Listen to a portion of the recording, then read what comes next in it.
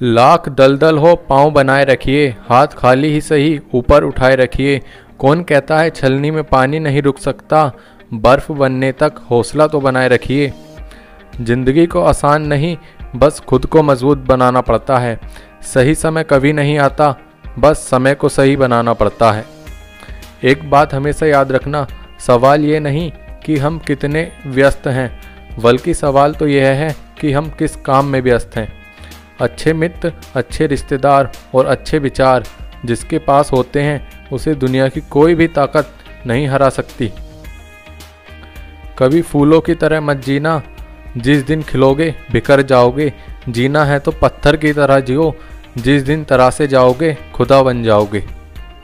एक हारा हुआ इंसान हारने के बाद भी इस्माइल करे तो जीतने वाला अपनी जीत की खुशी खो देता है। अगर हारने से डर लगता है तो जीतने की इच्छा कभी मत रखना। ज़िंदगी में एक बात हमेशा याद रखना, प्रशंसा से पिघलना मत, आलोचना से उबलना मत। ज़िंदगी हमेशा आपको एक दूसरा मौका देती है, और उसे कल कहते हैं। हर सुबह एक कैनवास की तरह होती है, और आप उसमें कुछ भी बना सकते हैं। वृक्ष कभी इस बात पर व्यथित नहीं होते कि उसने कितने पुष्पों को खो दिया। वह सदैव नए फूलों के सृजन में व्यस्त रहते हैं।